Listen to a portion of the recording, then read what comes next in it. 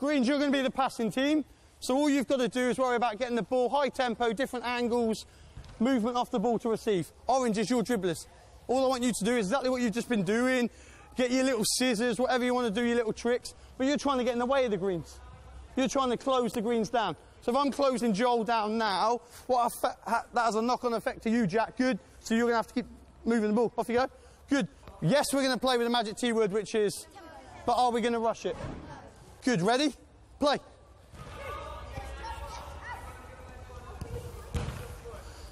Have a look at your surroundings, Alfie.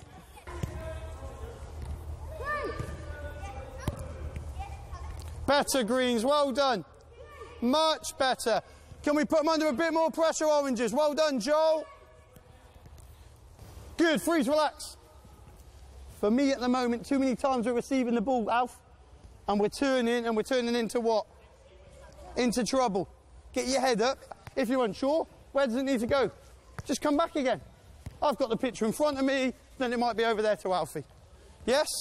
A little bit more energy off this passing team. Come on, let's go, play. Yes. Good, better. Charlie, have a look.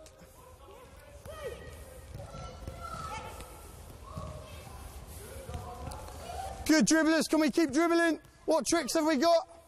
Much better, Green. Starting to move the ball, getting your head up, knowing what's around you. How do you know what's around you?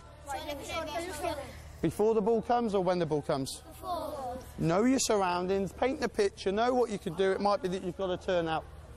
Set your little challenge now. Can we try and play off two touches? Yes. If you need to take three, take three. But can you really move them? So when they're going to come press, press, press. Before you know, it's just that little pass away, and you've taken all of them out of the game. Let's keep it in the square if we can.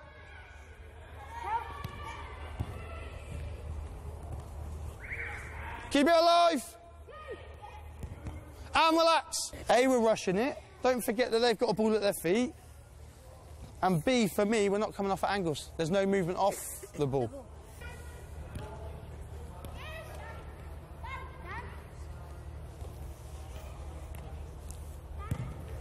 Clever, Dan Jones. If I'm on the passing team and Alfie's got the ball, what's it important for me to do if I'm on this team?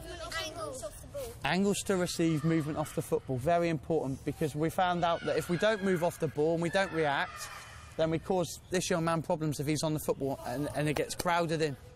But we also found out in that little session, didn't we, that if you play off one touch, what happens?